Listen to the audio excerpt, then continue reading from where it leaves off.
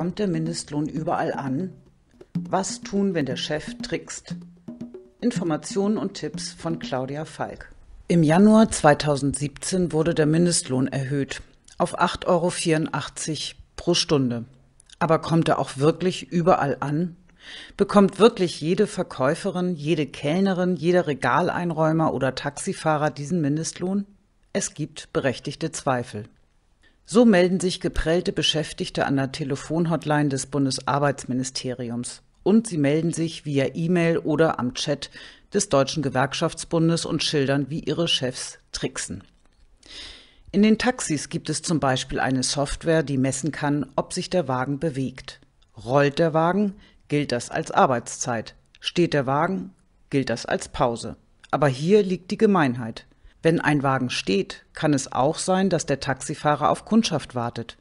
Das ist dann Bereitschaftszeit und die ist zu vergüten. Es handelt sich dabei schließlich nicht um eine Pause, in der der Fahrer machen kann, was er will. Aber viele Chefs zahlen für diese Zeit nichts. Besonders Minijobber werden häufig um den korrekten Mindestlohn gebracht. Sie dürfen pro Monat im Rahmen ihrer geringfügigen Beschäftigung maximal 450 Euro monatlich verdienen. Ist es mehr, kommen sie in die sogenannte Gleitzone und werden sozialversicherungspflichtig.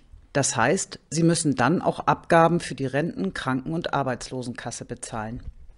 Bei der Vergütung von 450 Euro dürfen Minijobberinnen, meist sind es Frauen, maximal 50,9 Stunden im Monat arbeiten. Das ist ganz leicht auszurechnen. 450 Euro geteilt durch 8,84 Euro Mindestlohn gleich 50,9 Stunden. Arbeiten Sie länger, wird der Mindestlohn unterlaufen. Davon können viele geringfügig Beschäftigte leider ein Lied singen. Etliche Firmen haben mit Einführung des Mindestlohns zwar neue Verträge aufgesetzt, in denen die Arbeitsstunden reduziert, also mit dem Mindestlohn in Einklang gebracht wurden. Aber tatsächlich erwarten die Chefs, dass die Arbeit im alten Umfang geleistet wird.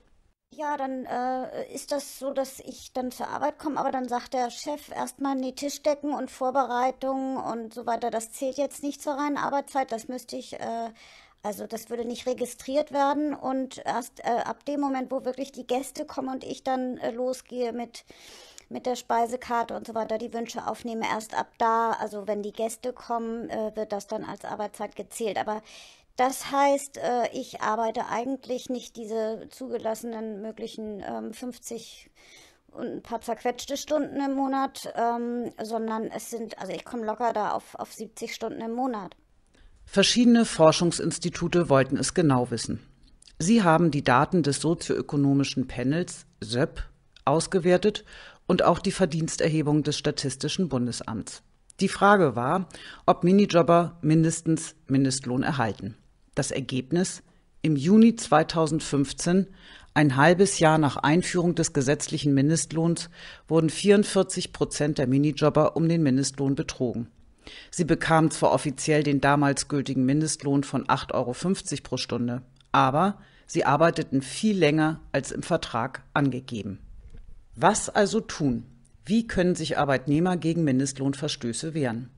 Sie haben, und das ist das Besondere an dem Mindestlohngesetz, Sie haben drei Jahre rückwirkend Zeit, Ihre Ansprüche gegen Ihren Arbeitgeber durchzusetzen. Wie aber setzt man die Ansprüche durch? Erstens Beweise sammeln. Dokumentieren Sie Ihre Arbeitszeit selbst, schreiben Sie auf, wie viele Stunden Sie täglich arbeiten und lassen Sie das von Ihrem Chef und oder Ihren Kollegen gegenzeichnen. Zweitens Stimmt die Lohnabrechnung nicht, mahnen Sie die Nachzahlung mit Fristsetzung bei Ihrem Chef an. Drittens.